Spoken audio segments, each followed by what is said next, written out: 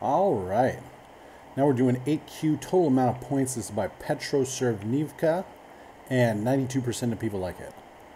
Uh, we've got a soccer team, and it's uh, trying to figure out how many points it got during a tournament. If uh, X, you know, X represents the uh, soccer team, and uh, if X is greater than Y, then there's three points going towards the tournament points. Uh, if X is less than Y, then zero goes towards the uh, tournament points, and then if they're tied up, then uh, one point goes to it.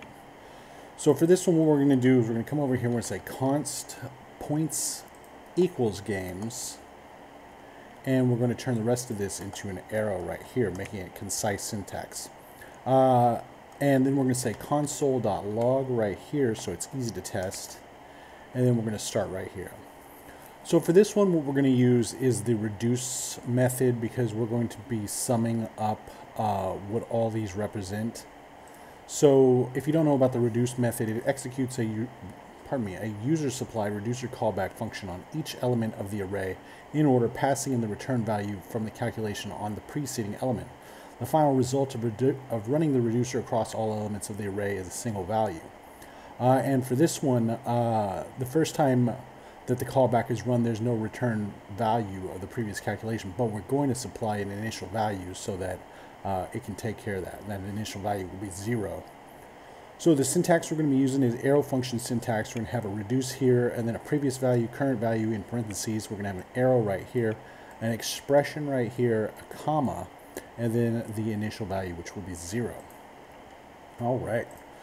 So for this one, we're going to say games whoops, games dot reduce. And uh, in here, we're going to have prev for the previous value, cur for the current value, and then here's the arrow right here. And we might as well just push uh, comma zero just so we can get the uh, initial value out of the way.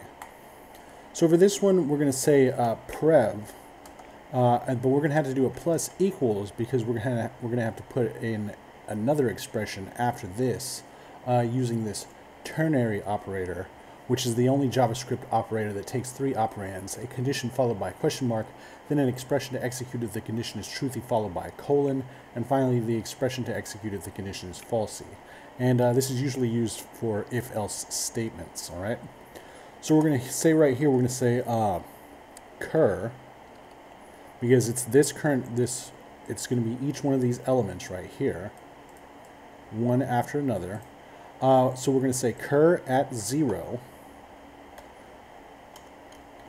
So taking care of this position in the string. Uh, if that is greater than cur at 2, so it's skipping this one, which is at 1, and then going to 2. So if this is bigger than this, we're going to do the question mark, and then we're going to say uh, 3 return 3. So it'll add 3 to previous. Uh, if not, we're going to, we'll just take this whole thing again.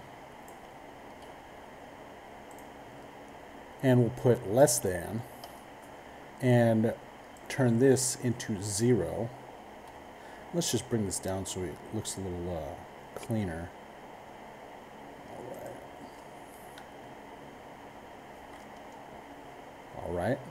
Uh, and if not on this, if not for that, we'll just bring it down here and uh, put a 1. Uh, we might as well just leave it back there. 1 like that. And then this is the initial value right here. So let me say one more time. This is uh, this is this position is greater than this position. We'll return the three, like it says here. If they're if this one's less, then we'll return to zero. And if they're tied up, which is the only thing that could possibly be left, it's going to be one. Uh, and that should take care of it. So let's test it out and see what happens. 30, 30. Looks good. Let's take this out of the way. Get rid of this console.log. Test it out one more time. Looks good. Attempt it. All right. Submit it. And... Uh, this one pretty much did the same thing. They did um, they did the syntax is different. Uh, because they put output instead of uh, previous. Also, they did it normal style in uh, as the function, which I mean, I guess that's cool.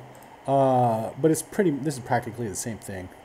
Uh, here's the for loop way. You, you, know, we're just going to do. Excuse me, not even in the for loop way. It's it's just a uh, map. And okay, cool. I guess if you want to do it that way. Here's the actual for loop way, and you can check out all the rest if you feel like it. Uh, let's go over to mine. Just me on this one. Best practice, in my opinion. Very much like it, and we'll see you next time.